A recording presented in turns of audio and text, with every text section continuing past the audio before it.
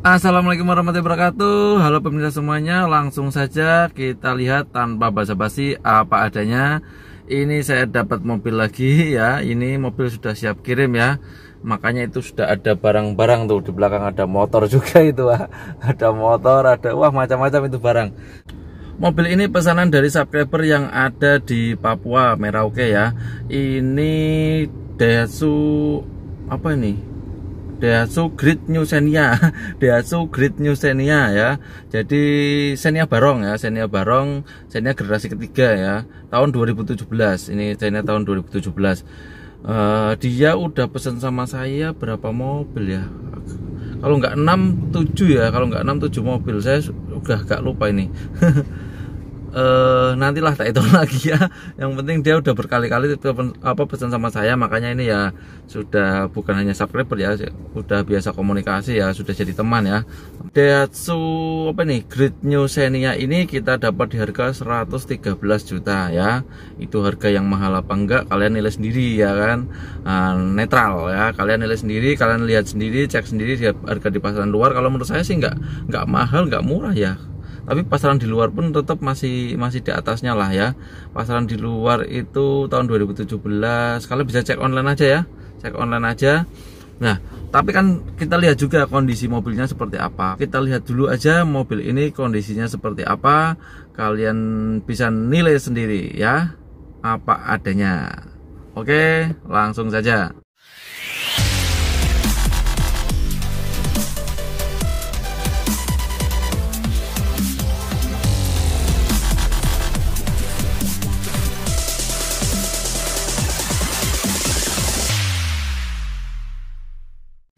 kita awali dari ruang mesinnya. Ruang mesinnya ini ada peredam ya. Ini mesinnya bersih karena sudah saya salonin ya. Jadi tadinya nggak bersih gini ya. Ini bersih karena disalonin. Ini ada ada karat ini. Ya ini aki wajar kayak gini. Nah ini tutupnya bisa. Kalau ini disemprot itu nanti bisa. Ya.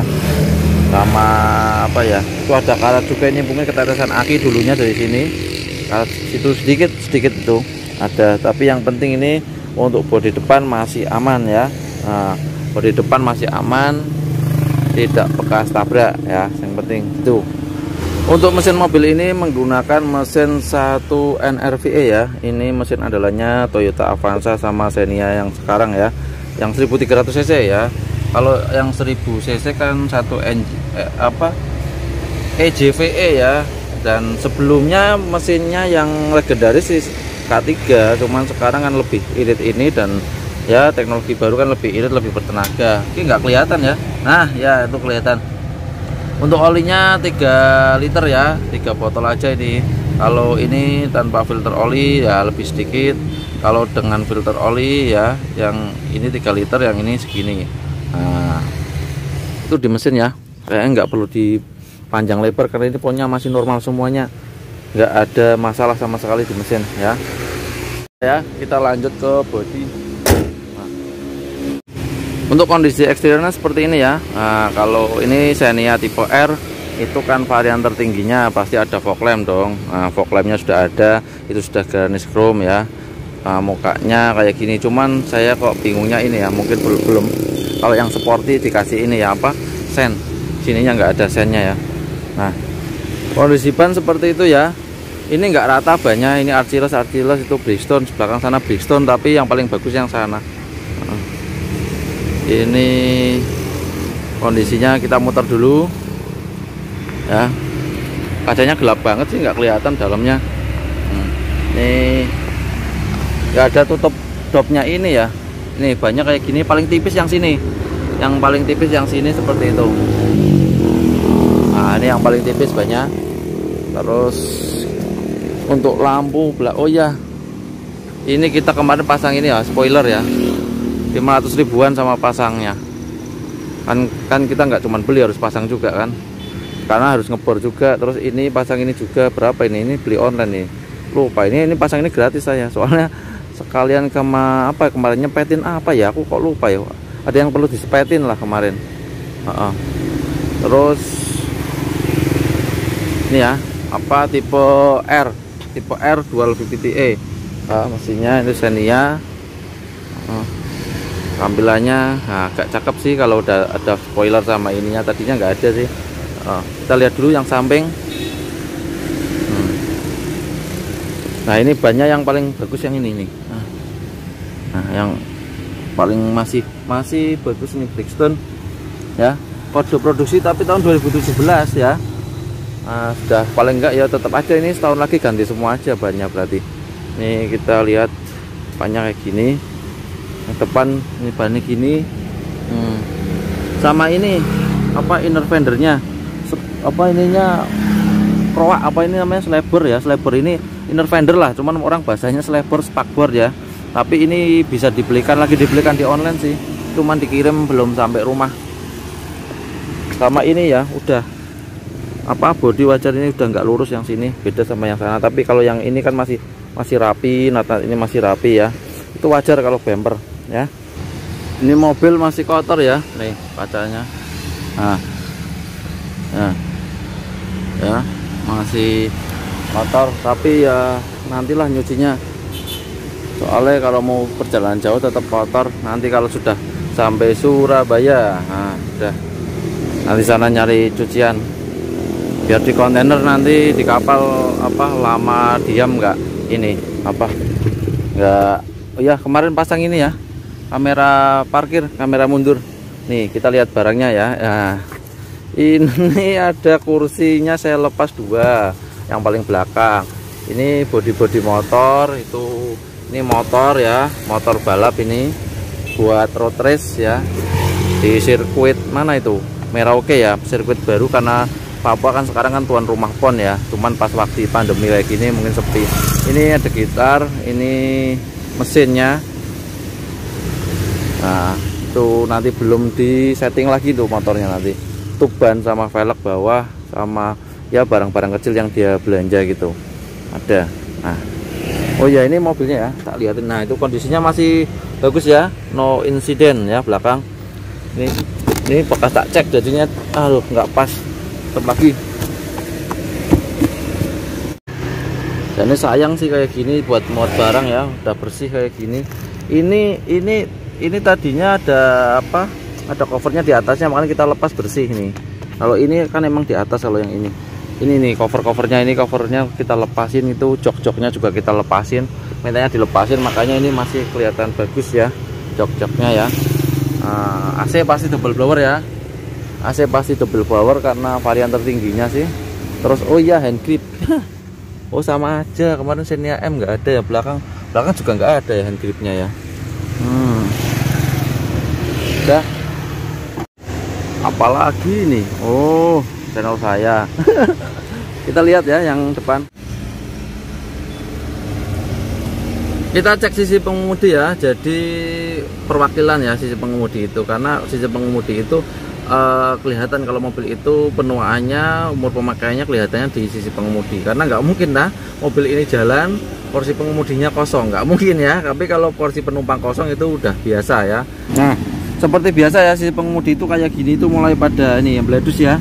Kayak gininya ya tapi ini wajar apalagi ini cuma seekor senia ya jadi kayak gini. Terus yang penting biasanya kisi-kisi ini kan ini masih betul ya ini yang sering digerak-gerakkan yang sini sama situ dan setir ya setir itu sini masih bagus ya. Bagus banget ini kulit jeruknya. Tapi nah di dalam ini nggak tahu ini kok ini kan ada kayak gerak-gerak tak buat jendik-jendik ini ya jendik-jendik jendik-jendik apa itu nama jari lah. Ini kok bolong ini? Nah sebelah ini, ini ada ini. Wah nggak kelihatan ya. Cuman satu jari aja sih ini. Nah itu ya sampai itu nggak kelihatan ya. Tapi ini masih masih ori tah. Ini airbagnya ya udah masih bener airbag airbag ya nah nah ini joknya ya ketika kita lepas dari apa? Dari sarungnya masih bersih kayak gini. Nah dan ini pun belum kempet nih. Ya masih ini. Empuk nah terus ini untuk karpetnya masih ori ya masih ori bawaannya. Ini karpetnya kan tuh terang. Nah nih ini karpet apa? E, tadi juga di cover kayak jok teman kita lepas gitu langsung aja kita cek ini indikatornya tuh ya. Nyala nyala nyala nyala nyala nyala. Terus kita start up starter. Mati ya itu cuman parkir ya parkir. Bentar itu autofocus oleh HP ku. Nah itu kilometernya 71.000 ya. Nah jadi masih masih wajar ya. Nggak tinggi ya karena untuk sekor Xenia Avanza kan nggak biasanya kalau kilometer kadang tinggi-tinggi itu. Nah. Oh ya ini head unitnya kemarin gantian ya. Dia beli online terus saya pasangin sama kamera mundurnya. Nih kamera mundurnya. Hmm. nah itu. CAP saya apa? Gambarnya sih lebih jelas ya cuman HP ah itu ya. HP saya yang tadi atau fokusnya. Ah. Nah itu nih mati untuk panel-panel dashboardnya masih rapi ya. Biasanya kan tetap kadang cowel-cowel atau gimana ini kan. Nah ini masih rapi. Tapi kalau saya pribadi sih nggak masalah sih sebenarnya kalau yang penting fungsional. Ini ada soket tapi ini nggak ada USB nya paling laci aja ini ya. Oh iya ini ada surat-suratnya ya. Kita lihat surat-suratnya. Ini. Mana ini? Nah ini cek fisik ya. Udah siap untuk mutasi. Terus ini STNK nya. Tahun 2017 ya. Bentar kok ngeblur ya? Nah tahun 2017 pajaknya sampai 2022 STNK nya. Itu pajak STNK ini notisnya sampai bulan 11 2021 ya. Daihatsu Xenia 2017 berarti New Xenia ya itu pajaknya ya. Nah. Ini BPKB nya juga nih BPKB nya ada ya 2017 ya. 2017 1300 cc. Ini tipenya R ya. Yang tipe R sama ini ada apa ya faktur ya. Fakturnya ada. Faktur. Nah. Ini ya sini tipe R. Nah 2017 terus ini juga ada apa ini masih ada apa? Owner ini buku oh ya. Tool book ya. Apa buku padomannya masih ada. Buku, buku servisnya juga ada. Hasil rekodnya. Ini apalagi nih mas? Adalah dokumen-dokumen ini. Ini. Ya ini ya. Oke pemirsa itu gambarannya ya mengenai mobil ini. Great New Xenia tahun 2017 ya. Kita dapat di harga 113.500 ya, belum ini itu ya tadi ada unit dan ini itu ya biasa. Kalau kayak gitu kan selera pribadi masing-masing ya. Yang penting yang beli disesuaikan aja dengan harga pasar yang ada dan sesuaikan kebutuhan sama budget yang ada. Nah cuman kalau ini kan konsumsinya yang Papua Merauke ya jadi di sana kan harga pasarnya emang masih tinggi ya. Nah seperti itu.